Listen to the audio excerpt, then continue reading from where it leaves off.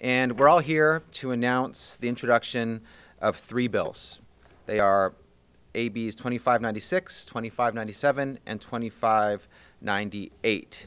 These three bills will promote and defend the civil liberties of Californians in general and immigrant communities, communities of color, and youth in particular. The Vision Act, or AB 2596. Vision stands for Voiding Inequality and Seeking Inclusion for Our Immigrant Neighbors.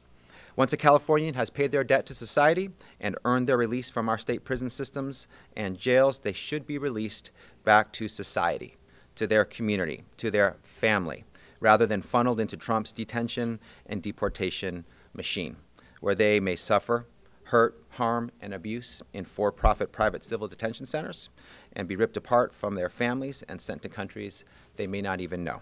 The Vision Act will close the long list of carve-outs that are in the California Values Act to ensure that immigrants have earned, who have earned release from jail are not subjected to a second punishment, to a double punishment uh, of getting turned over ICE, thrown into immigration detention facilities, and deported. This is going to save so many countless families, so much car- countless heartache that you cannot even understand. It's some of the worst pain and struggles you feel will be in the immigration system. Prison is nothing that compares to that. Currently, and for the past two decades, many Californians have been and are the target of pervasive surveillance and harassment by the FBI and their Joint Terrorism Task Force, referred to in short as JTTF, which is when California law enforcement agencies sign an MOU with the FBI that puts participating California law enforcement officers under the control of the FBI.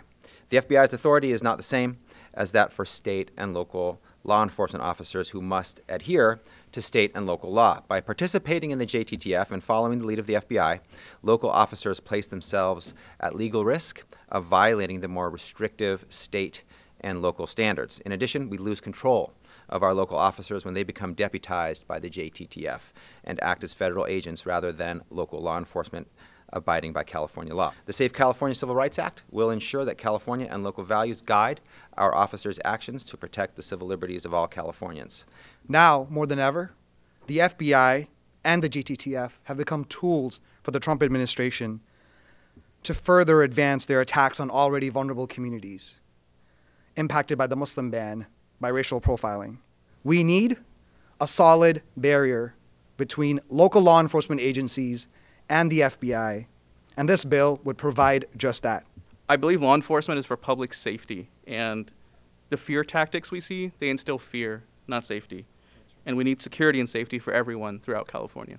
I really commend Assemblymember Bonta for bringing this forward because for far too long, our communities have felt the perpetual outsiders who continue to be a community of suspicion rather than having be, having be communities that belong. The bill is quite simple. It will require businesses that provide data services to the state of California to certify that they will not provide ICE, Customs and Border Protection, or the Office of Refugee Resettlement with the information they need to track or that they desire to track, detain, and deport our most vulnerable immigrant populations. The bill is a good faith attempt to create an incentive for businesses to act in a manner that is compassionate, humane, and consistent with California's values of opportunity, equity, justice, and inclusion.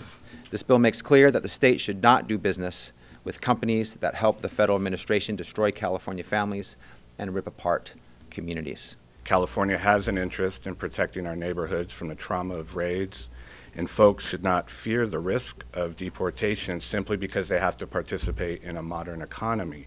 These private data brokers are collecting public records, utility bills, phone records, driving records, and so on and so forth, and feeding it to ICE. Together, these vital measures will prevent violations of state and local laws during joint terrorism task forces. They will promote state contracting with companies that share our state's values relating to extreme vetting of data and will not share information with ICE and Customs and Border Protection. And finally, these bills will protect individuals, including those sentenced as juveniles and who have earned release from jails or prisons, from being handed over to immigration officials for detention and deportation.